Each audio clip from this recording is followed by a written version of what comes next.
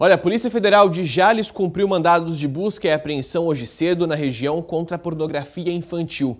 De acordo com a PF, as investigações começaram depois que autoridades da Alemanha descobriram uma rede na internet que tem usuários aqui das cidades do Noroeste Paulista que estavam compartilhando, pessoal, atenção, viu, conteúdos de abusos sexual e imagens pornográficas também de crianças e adolescentes. Vamos acompanhar.